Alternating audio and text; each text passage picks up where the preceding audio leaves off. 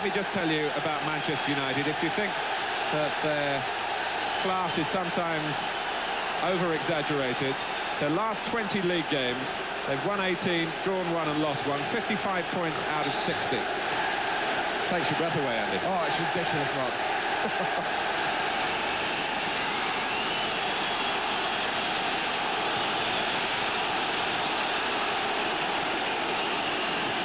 So we're underway at Maine Road. With both teams coming from recent games when they haven't done themselves justice. Bruce came in crisply and then found Garry Flitcroft carrying him. Bruce. Now Parker. It's a great run by Keane. His trademark really. Hughes is in the middle. And misses it. And so too does Sharpe. City breathe a sigh of relief. Garry Flitcroft breathes a sigh of relief, Mark. He's responsible for... He's trying to play offside. He's a midfield player. But ever, if ever you want to dissect two players, it's exactly what happens. It's half a yard behind Hughes and half a yard in front of Sharpe. Lee Sharpe. Kanchelskis. came behind him. Hit it very well indeed. From a tight angle. Pumped it into the chest of Tony Coton. That was a wonderful strike. Arrives at him in the half volley, just as he would have wanted it. And he doesn't disappoint, he really doesn't. It's a tight angle. It's always going to be difficult to score, but he does what he should do. And that sets the target. Sheron. Space for City here, but not for long. Thanks for United to Lee Sharpe. Irwin's ball, and Keane has caught them out again. And Coton protected the goal. And the warning signs are out. Roy Keane has staked his claim here. Well, if you're playing a sweeper, Martin, you've got to be prepared for this, and he's got to be there. At first, I thought Tony Coton made the wrong decision and went back towards his goal. The goalkeeper proves he was right. Makes a fine save. Sheron, right to the right. Quinn to his left. Phelan making up some ground. Sheron still on the ball, and Quinn comes in and plants another header past Peter Schmeichel and scores for the third derby in a row. And Manchester City have drawn first blood here at Maine Road. It's a fabulous break from penalty box to penalty box. And just when I was wondering, does he know what he's going to do with the cross? Because Quinn had pulled wonderfully onto Parker. Couldn't have asked for a better scenario there. Look at that. He pulls onto the smallest Manchester United player. The cross is inch perfect. And Niall Quinn doesn't often. Here's White, set away superbly by Quinn.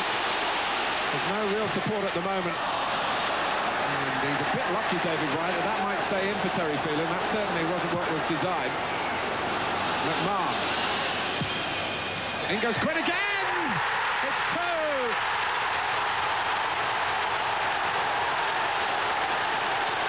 Well, the fortune came earlier in the move. But in the end, it was a fine finish. And they've got so much to thank Terry Phelan for. They really have, Martin. But it can't be City's day to get away with a horrendous error from David White to such an extent that they profit with another fine header from Niall Quinn. We said it earlier in the day, provide this lad with service from the right areas and he will trouble any centre half in the...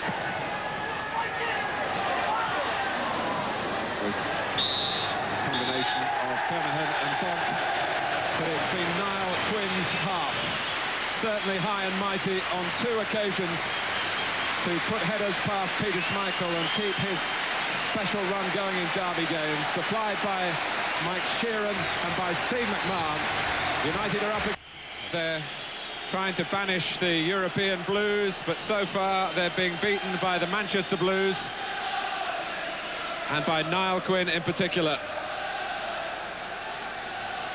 who had as good a record as any forward in the division against them last season. And is relishing the opportunity to take on the league leaders. Kanchelskis. Bruce. Quinn gets it, defending from the front. Parker. Again, though, Martin, you see, Manchester City are happy to let them have it there and then put pressure on the ball when we get into these sort of areas. Keane. To get a bit nearer to the danger area. And to force a corner. Just wonder whether Brian Horton might feel that his team are just easing off a little. Perhaps Alan Kernaghan's gesture there suggests that he feels it.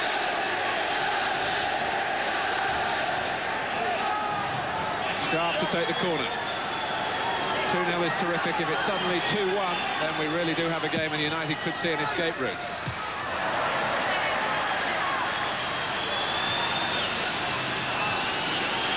Cantona. Well, it's turning into be a game of headers at goal. But the ones from Manchester City are going into the goal. Pallister's over the top of Coton's crossbar. It's a lovely ball in from Cantona. Frenchman picked the area, played it in there, head on it, go on, go and head me for a goal. Super cross, but Pallister couldn't keep it down.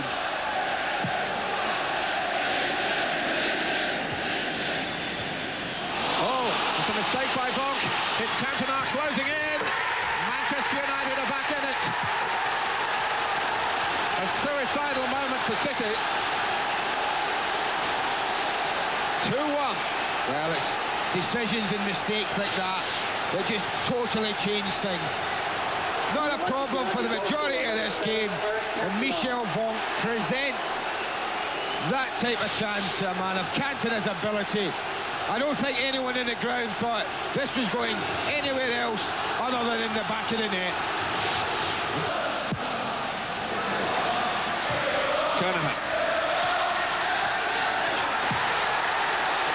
To Keane. And Pallister has put it wide. And City, suddenly, did we see the signs in the conceding of that earlier corner when they just backed off perhaps a little too deep? Well, Gary Pallister's had two excellent chances. Maybe not by centre-half standard. Drops for Phelan. Quinn are still in the middle, but the majority of Manchester City had pulled out quickly of the penalty area to get back to the halfway line, and just as well that they've done. Kanchelskis put away by Keane. Is he in for the equaliser here? Tony Coton gives a very positive answer for Manchester City. The answer is no. Well, that's the save of the match, without a doubt. My first reaction was Kanchelskis is offside. I really thought that, but once he's away, it's all about him against the goalkeeper. He looks to slide it in, and that's a wonderful save from Tony Coton. Mann. Now Quinn, Edghill to the right. White wants it slipped through, just like that. And Schmeichel has emulated Coton's heroics. Well, maybe that was saving the match. Both goalkeepers showing us in the space of a minute the real quality. White can tie the game up here for City. And doing his tricks and working his little space. Well, I suppose he will feel that there are others who are going into those areas. Whether they're the right players, of course, remains to be seen. Cantona again. It's almost as if he's got a baton in his hand and is conducting the orchestra. Giggs. It's a super ball, and Cantona is there where it matters. Two for him, two for United. 2-2 is the score. Well, there you go. If you stay in midfield, you can't get goals like that. Wanders into the penalty area. And that's a better sight if you're a Manchester United fan. Eric Cantona in there where it hurts. But watch Giggs here. He does, he knows where the danger area is. He helps it in there. And there's that gap between goalkeeper and defence again. That's ever so difficult to defend. And Cantona, well, you don't expect him to miss them, do you?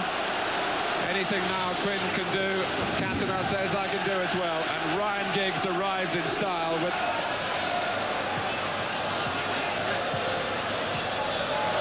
Sharpe, delightfully delivered. For Irwin, it's Hughes! And coming in behind him was Roy Keane. Is the comeback complete? United believe it is. their supporters absolutely thrilled by a sensational second half showing. Well, I said if this little young right back doesn't get some protection, they're going to get exposed. Again, it's Irwin and Sharpe that combine.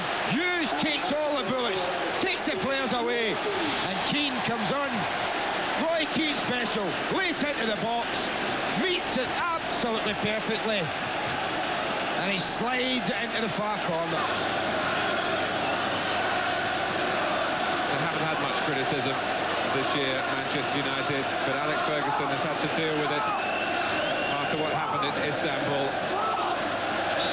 But Manchester United have provided an answer that they uh, can enjoy for a long, long time here on their own patch. A quite amazing victory. Roy Keane provided it after Peter Schmeichel had been beaten twice in the first half by Niall Quinn headers. Then two goals from Eric Cantona. You can look at a turning point, the error by Michel Vonk. Humbled in Europe, but still the masters in their own area and in their own league. In the end, it's a derby day to save savour for Manchester United. Suffering for Manchester City and how at Maine Road. And what a baptism for Brian Horton in this kind of rivalry. The league table offers no consolation either. Michel Vonk goes off aware of his part in the second half slump for City. City stuck in the bottom seven. United's lead restored to 11 points. And the trauma of Turkey thrust aside. Manchester City 2, Manchester United 3.